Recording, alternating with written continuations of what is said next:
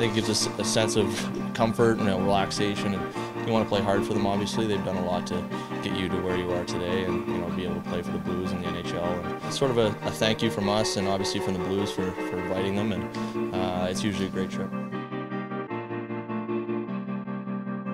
different mindset, you know, with their dads on a trip. It's always fun um, to bring your dads. Okay.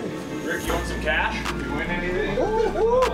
Always had a good time on these things. Rick Schwartz had me and Steen laughing this morning at breakfast, telling us some stories about growing up on the farm. So I think there'll be a lot of that. I'm sure a lot of dads are excited to get out of the cold winters of Canada and uh, soak up some rays. They like uh, having fun together, drinking some beers, and, and uh, enjoying uh, watching their, their sons play. Hopefully we can come with four points on this road trip and, and keep the dad's uh, momentum going.